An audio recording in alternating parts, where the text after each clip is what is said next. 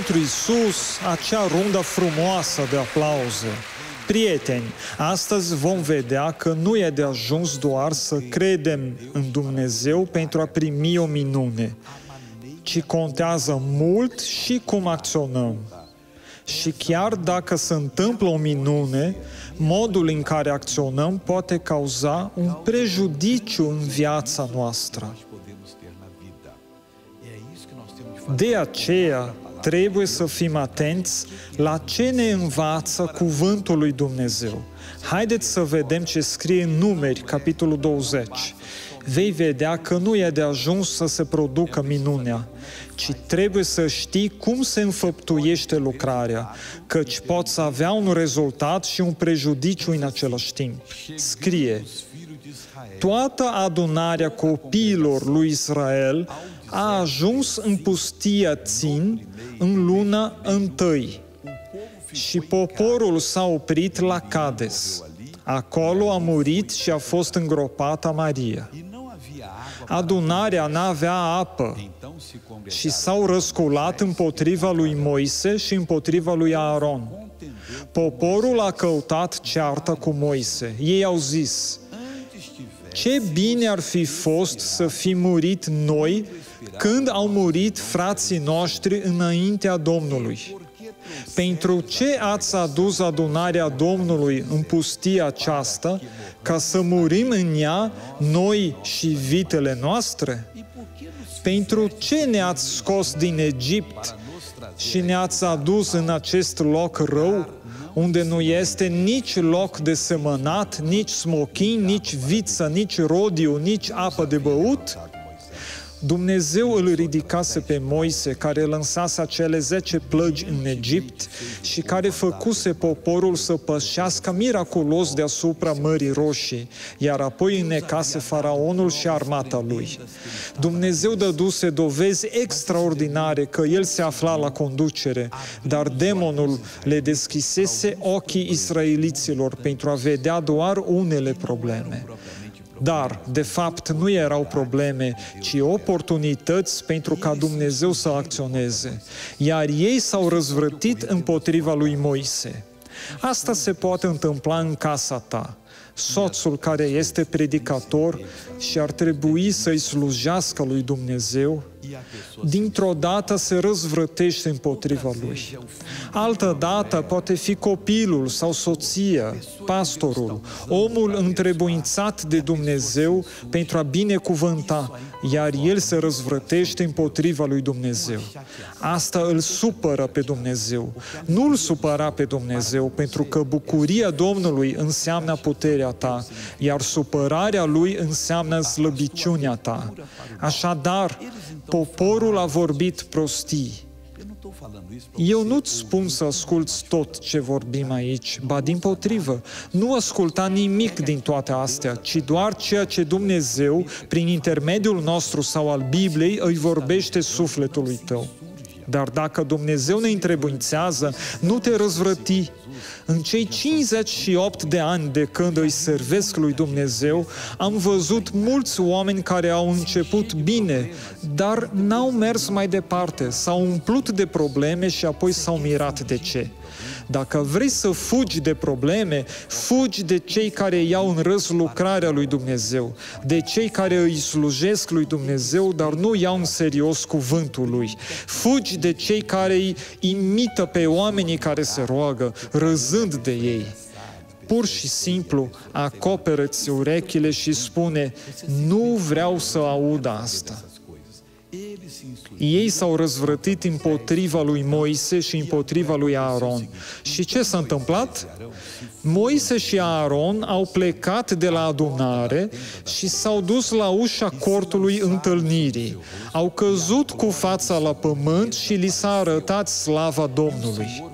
Domnul a vorbit lui Moise și a zis, ia toiagul și cheamă adunarea, tu și fratele tău Aaron, să vorbiți stâncii acesteia în fața lor și ea va da apă.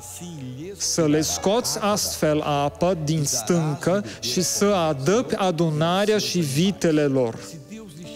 Dacă Dumnezeu ți-a atras atenția asupra unui lucru care îți place, dar El îți arată că asta îți va crea probleme, spune în acea clipă, Doamne, nu vreau să știu de asta.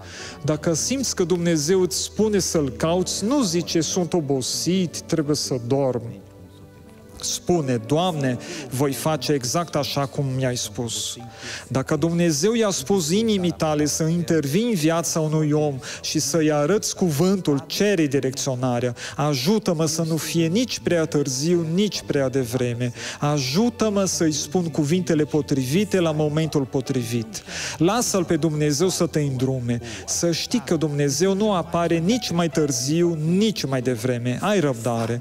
Lasă-L pe Dumnezeu să acționeze și roagă-te. Dacă va fi nevoie să fii energic, fii, dar Dumnezeu te va îndruma în toate. Ceea ce Dumnezeu spune se va îndeplini. Iată ce spune Biblia, înțeleptul ecleziast, capitolul 8 cu 5.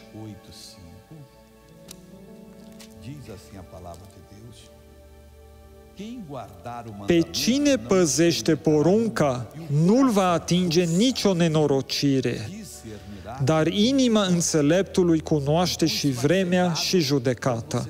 Așadar, dacă Dumnezeu te-a îndrumat să cauți un loc de muncă într-o firmă importantă, nu sta pe gânduri zicând, dar ce să caut eu acolo? Voi face ceea ce m-a îndrumat Dumnezeu. Și mergi și faci. Scrie aici. Să le scoți astfel, astfel, adică în acest mod, nu altfel, apa din stâncă și să adăpe adunarea și vitele lor. Haideți să vedem ce s-a întâmplat. Moise a luat toiagul dinaintea Domnului, cum îi poruncise Domnul. Moise și Aaron au chemat adunarea înainte stâncii și Moise le-a zis, Ascultați, răzvrătiților, Vom putea noi oare să vă scoatem apa din stânca aceasta? Greșeală totală. Dumnezeu nu poruncise asta. Apoi Moise a ridicat mâna și a lovit stânca de două ori cu toiagul și a ieșit apa din belșug, așa încât a băut și adunarea și au băut și vitele. Dar misionarule, a obținut rezultatul. Care problema? Fratele meu, scopul nu scuză mijloacele. Moise nu fusese trimis să-i agreseze pe israeliți, chiar dacă și ei îl agresaseră. Nu trebuia să îi numească răzvrătiți să vă scoatem apa din stânca aceasta. Ce putere are omul pentru a scoate apa din stânca? Moise trebuia să-L slăvească pe Dumnezeu în acel moment. Nu e de ajuns să-ți scapi fiul de droguri, dar el s-a lăsat de droguri. Dar pe Dumnezeu l-ai slăvit? Dar fica mea nu și-a lăsat soțul, dar vrea să-l lase, dar pe Dumnezeu l-ai slăvit? Cine îți garantează că va fi fericită cu această lucrare care n-a fost trimisă de la Dumnezeu? Cine îți garantează că boala nu se va întoarce dacă lucrarea nu a fost înfăptuită după voia lui Dumnezeu. Sunt sigur că știi că cel mai important lucru din viața noastră este să-L slăvim pe Dumnezeu. Nu-ți dori să te îmbogățești prin căi care nu-i sunt pe plac lui Dumnezeu. Poți să-ți creezi mari probleme. Nici nu-ți dai seama. Dacă încalci cuvântul lui Dumnezeu, vei fi pedepsit, căci i-ai făcut pe plac diavolului. Qual foi a penalidade? Versículo 12. Atunci Domnul a zis lui Moise, pentru că n-ați crezut în mine ca să mă sfințiți înaintea copiilor lui Israel, nu voi veți duce adunarea aceasta în țara pe care i-o dau. Iată ce lucru serios a muncit toată viața, s-a luptat, s-a străduit. Fratele meu, el trebuia să-L slăvească pe Domnul. trebuia să-i arate poporului cine era Dumnezeul care le rezolvă toate problemele, nu doar setea, ci și altele. Minunea făcută fără mâna lui Dumnezeu poate să-l împiedice pe om să fie binecuvântat. Ce trebuia să facă Moise? Trebuia să creadă în Dumnezeu în totalitate. Pentru că ori crezi în totalitate, ori nu crezi. Iar el n-a făcut asta. Pentru ce?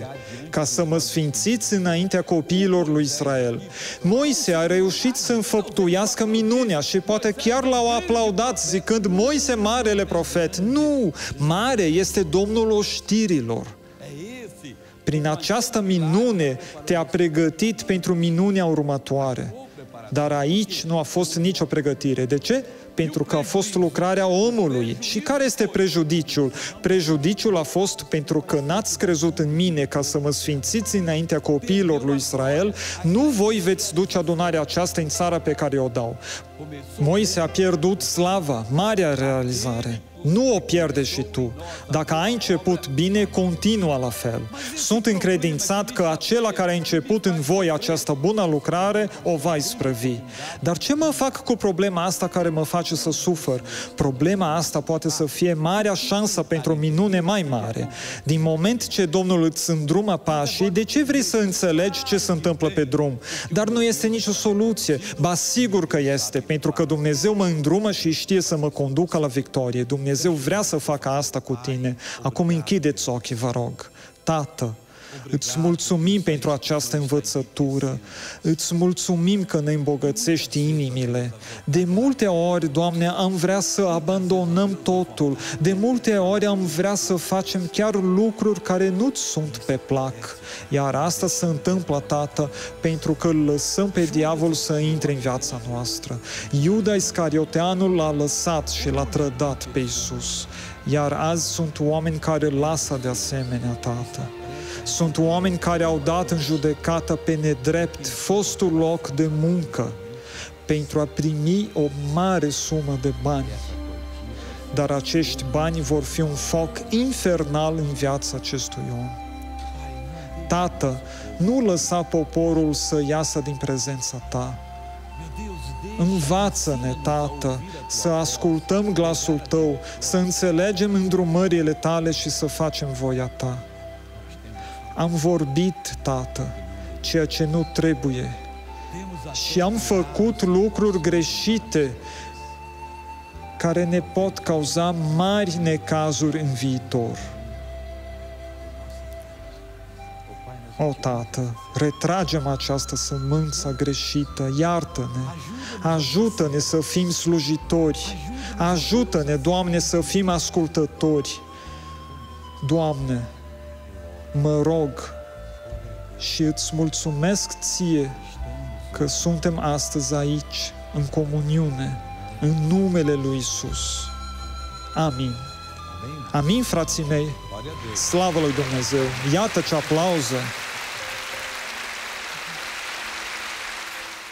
Câteodată noi vrem să facem ceva, dar se va întâmpla ceea ce vrea Dumnezeu, iar dacă îl avem pe Duhul Sfânt, Dumnezeu ne va îndruma.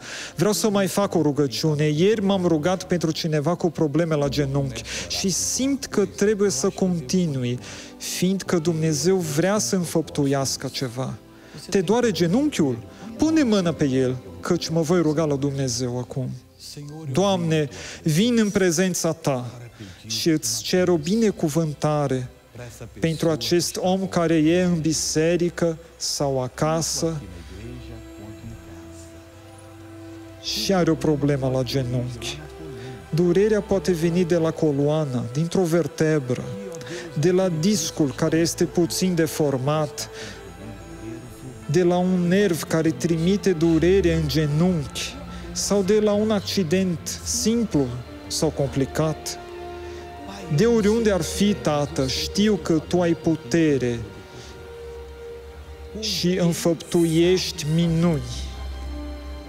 Îmi unesc credința cu credința acestui om și întrebuințez autoritatea pe care Dumnezeu mi-a dat-o pentru a distruge tot răul din această viață și voi distruge acum, Tată, nu doar răul din genunchi, ci toată structură, căci diavolul a folosit lucruri necurate. Așadar, în numele lui Isus, ca slujitor al cuvântului lui Dumnezeu, distrugă această structură rea și îți zic ție, diavole care ești în acest genunchi, în rotulă, în menisc sau în orice parte, ieși acum și nu mai continua în numele lui Isus. Amin. Spune, mulțumesc lui Dumnezeu. Haideți acum la telenovela Vieții Reale.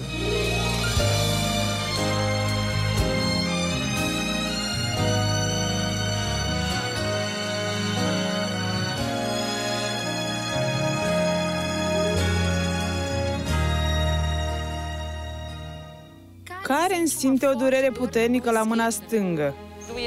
Mă durea mult, nu puteam să o mișc. Se plângea mereu că o durea mâna și cum lucra ca administrator la un hotel, trebuia să scrie mult la calculator. Trebuia să ia pauze de 15 minute, chiar și șeful hotelului spunea Ia o pauză, Karen, că deja te doare mâna. Făceam toate treburile doar cu o mână. Mâna care mă durea o aveam bandajată cu tot felul de fașe. Ajungea acasă și nici nu reușea să facă curățenie. Și când făceam curat, când spălam podeaua, mă durea foarte tare mâna. Pe lângă durere, Karen observă un nodul și, îngrijorată, merge la medic. Am fost la mai mulți doctori care mi-au pus diferite diagnosticuri. Am făcut radiografie și mi-au zis că era un chist. Nu-mi dădeau nicio speranță. Îmi spuneau că o să crească și că trebuia să mă operez. Iar dacă m-aș fi operat, eu n-aș fi putut mișca mâna timp de trei luni. Eu nu-mi permiteam să fac asta pentru că eram studentă și lucram în același timp, iar eu depindeam de mână. De când am descoperit nodulul, l-am rugat pe Dumnezeu să mă îndrume pentru a mă putea libera de acest rău și să pot lucra.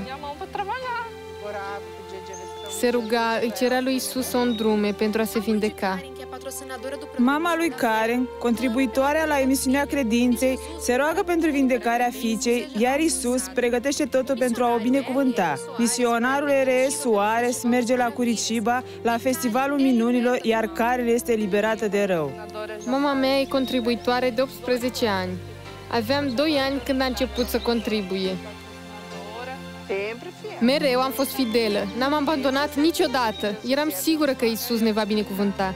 Am fost să-l văd pe misionar când a venit în Curitibă, iar în mijlocul rugăciunii a cerut ca toată lumea care avea o problemă la braț să meargă în față. Eu am rămas pe scaun, căci am zis, pe mine mă doare mâna, nu mă doare brațul. Dar am rămas pe scaun și m-am rugat împreună cu el, până când am simțit o pișcătură la încheietură, unde aveam ceasul. Iar în momentul în care am ridicat cureaua de la ceas, am simțit că nu mai aveam nimic. Nodulul dispăruse definitiv. Am rămas impresionată și am spus pe loc mamei, Mamă, a dispărut, nu mai am nimic. A dispărut pe moment. Toată lumea care era în jurul nostru a rămas absolut impresionată, fiindcă nodulul a dispărut definitiv, ca prin minune. Când am ajuns acasă, i-am arătat soțului și am zis, uite, nu mai am nimic. Iar el cum adică? Iar eu a dispărut definitiv. Acum face de toate, mă ajută la treabă, scrie la calculator și nu mai doare absolut nimic. Nu mă mai doare deloc. Într-o zi am scris două ore în continuu la calculator și nu m-a durut absolut deloc. Pentru medicină nu există explicație, dar pentru Isus există. El este Domnul minunilor, trebuie doar să ai credință și perseverență, iar minunea se va întâmpla cu siguranță. Trebuie să-i fii fidel Domnului pentru a avea victorii în viață. Voi fi contribuitoare mereu, până în ziua în care Isus mă va chema. Isus este minunat.